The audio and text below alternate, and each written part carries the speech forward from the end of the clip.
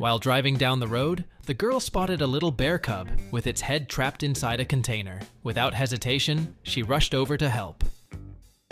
The container was stubbornly stuck, making it a challenge for her to remove. The girl struggled, unsure of how long the cub had been dealing with this predicament. After persistent efforts, she successfully freed the cub from the container. Weeks later, the cub was spotted again, now healthy and thriving, all thanks to the girl who saved its life.